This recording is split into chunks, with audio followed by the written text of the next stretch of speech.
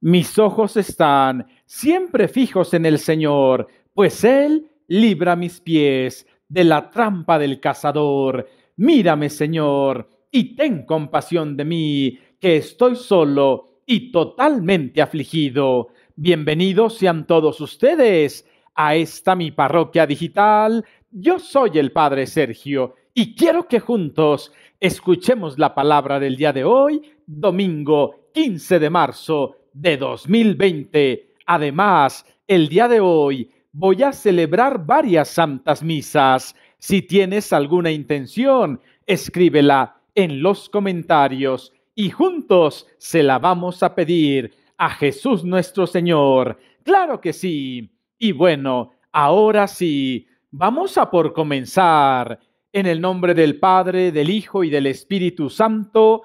Amén. Primera lectura del libro del Éxodo. En aquellos días el pueblo, torturado por la sed, fue a protestar contra Moisés diciéndole, nos has hecho salir de Egipto para hacernos morir de sed a nosotros, a nuestros hijos y a nuestro ganado? Moisés clamó al Señor y le dijo, ¿qué puedo hacer con este pueblo? Solo falta que me apedreen.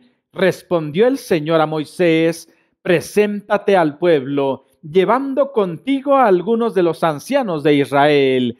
Toma en tu mano el callado con que golpeaste el Nilo, y vete, yo estaré ante ti sobre la peña en Horeb. Golpea la peña, y saldrá de ella agua, para que beba el pueblo. Así lo hizo Moisés a la vista de los ancianos de Israel, y puso por nombre a aquel lugar Masá y Meribá, por la rebelión de los hijos de Israel, y porque habían tentado al Señor diciendo, ¿está o no el Señor en medio de nosotros? Palabra de Dios, te alabamos, Señor. Al Salmo responsorial número 94, vamos a responder todos juntos, Señor, que no seamos sordos a tu voz. Vengan, lancemos vivas al Señor aclamemos al Dios que nos salva, acerquémonos a Él, llenos de júbilo, y démosle gracias. Todos, Señor, que no seamos sordos a tu voz. Vengan y puestos de rodillas adorémoslo y bendigamos al Señor que nos hizo, pues Él es nuestro Dios y nosotros su pueblo. Él es nuestro pastor y nosotros sus ovejas. Todos, Señor, que no seamos sordos a tu voz. Segunda lectura de la carta del apóstol San Pablo a los romanos.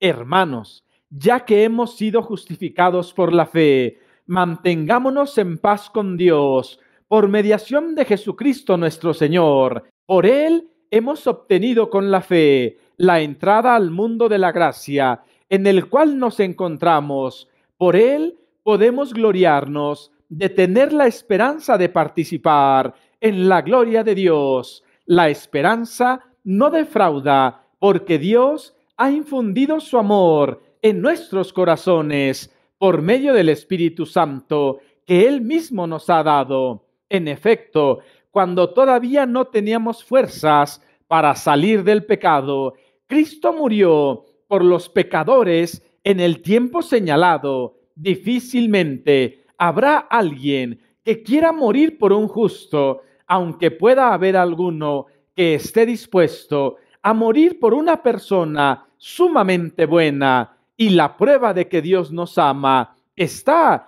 en que Cristo murió por nosotros cuando aún éramos pecadores. Palabra de Dios te alabamos, Señor. Honor y gloria a ti, Señor Jesús. Señor, tú eres el Salvador dame de tu agua viva, para que no vuelva a tener sed.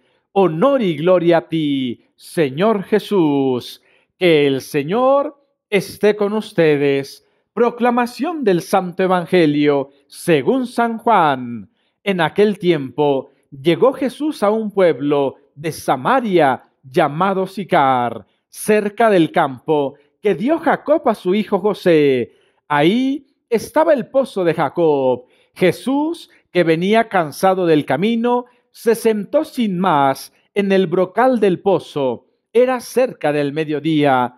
Entonces llegó una mujer de Samaria a sacar agua y Jesús le dijo, dame de beber. Sus discípulos habían ido al pueblo a comprar comida. La samaritana le contestó, ¿cómo es que tú, siendo judío, me pides de beber a mí, que soy samaritana? Porque los judíos no tratan con samaritanos. Jesús le dijo, si conocieras el don de Dios y quién es el que te pide de beber, tú le pedirías a él y él te daría agua viva. La mujer le respondió, Señor, ni siquiera tienes con qué sacar agua y el pozo es profundo. ¿Cómo vas a darme agua viva? ¿Acaso eres tú más que nuestro padre Jacob, que nos dio este pozo del que bebieron él, sus hijos y sus ganados? Jesús le contestó, el que bebe de esta agua vuelve a tener sed, pero el que beba del agua que yo le daré, nunca más tendrá sed. El agua que yo le daré se convertirá dentro de él en un manantial capaz de dar la vida eterna. Palabra del Señor. Gloria a ti, Señor Jesús. Mis hijos, hijas, deseo de todo corazón que este domingo estén muy pero muy contentos. La invitación de nuestro Señor el día de hoy es fabulosa. Él nos dice que nos puede dar de beber una agua con la cual jamás vamos a volver a tener sed. Y fíjate qué maravilloso, porque vamos a ver qué significa esa agua. Desde luego es felicidad, es alegría, tranquilidad y armonía. Todos nosotros, no me dejarás mentir, nos levantamos todos los días queriendo ser felices, sintiéndonos bien, queriendo tener un significado a nuestras vidas y ciertamente todos nosotros hacemos lo que podemos, pero querido hermanito y hermanita, si buscamos la respuesta en este mundo, jamás vamos a quedar satisfechos, porque las cosas de este mundo todas se acaban. Imagínate una persona que confía solamente en su juventud porque piensa que así va a ser feliz.